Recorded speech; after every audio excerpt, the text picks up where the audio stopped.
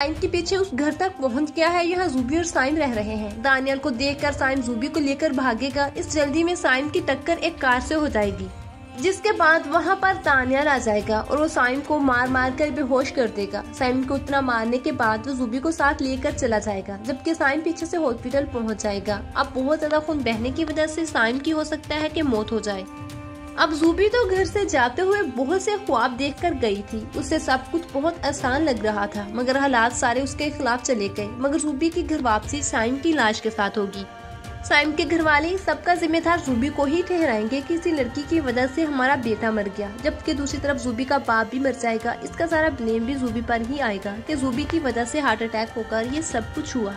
जबकि जूबी अपने फैसले पर पछताती ही रह जाएगी कि काश उस वक्त हाँ कर दी होती तो फैमिली की रजामंदी से शादी हो जाती और साइम भी ज़िंदा बच जाता और उसका बाप भी। अब दानियाल जिसे अपने अलावा सभी गलत लगते थे। साइम के कत्ल के केस में जेल चला जाएगा। अगर दानियाल ने थोड़े सबर से सोचा होता तो जूबी की शादी साइम से कर देते तो कितनी जिंदगियाँ बच जाती। घर वालों के गलत फैसले की वजह से दोनों खानदान कितनी बड़ी मुश्किल में आ गए।